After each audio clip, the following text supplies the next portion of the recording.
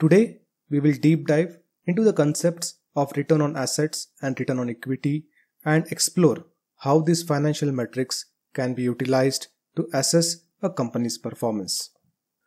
ROE measures the amount of profit a company generates in relation to its shareholders' equity. It is calculated by dividing the annual net income by the average shareholder equity. On the other hand, return on asset calculates the return on total assets encompassing both debt and equity. To illustrate the application of ROA and ROE in evaluating a company's financial health, let's consider the example of Adani Green Energy.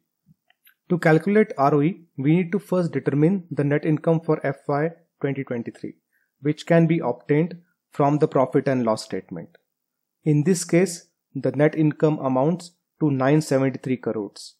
Additionally, we require the average shareholder equity, which can be calculated by summing up the share capital and reserves for FY 2022 and FY 2023 and dividing the total by 2. Consequently, the average shareholder equity is computed as 4959 crore.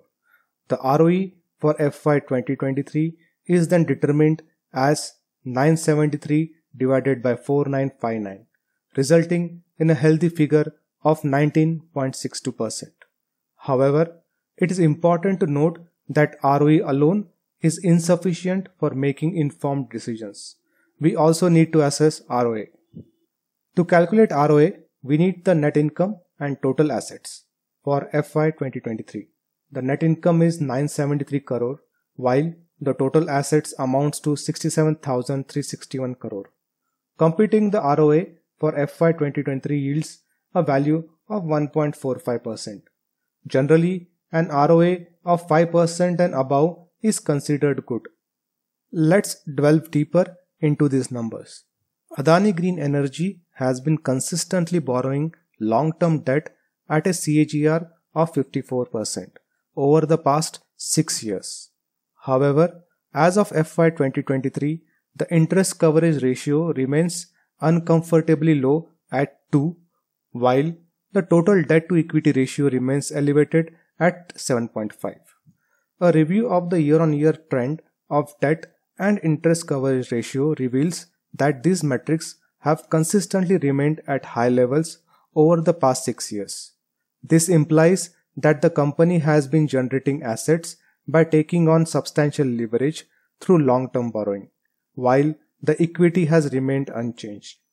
Consequently, the ROA decreases while the ROE either remains the same or improves significantly. Investors often make the mistake of solely considering the high ROE and concluding that the company is effectively utilizing shareholders' funds. However, they fail to take into account the elevated debt and the very low ROA. Investors need to address critical questions like Will the company be able to sustain high growth in the future, leading to an increase in the interest coverage ratio and reserves? Will the company continue to finance future expansions through aggressive borrowing, often backed by share pledges? Or will the management reinvest profits to fund growth and reduce debt? Will the company be able to maintain profit margins in the future? Does the company deserve a high premium valuation? Acceptable values for ROA, ROE, debt to equity ratio, and interest coverage ratio may vary across industries. However, as a general rule, the following guidelines can be followed. An ROA greater than 5% is considered favorable, while an ROA exceeding 20% is regarded as excellent. An ROA less than 5% is considered undesirable. An ROE greater than 15% is deemed good. A debt to equity ratio below 2 is considered favorable, whereas a ratio about 2 is red flag. Interest coverage ratio greater than 4 is acceptable but less than 2 is undesirable. To understand the ratios used in financial analysis, check out the YouTube shorts.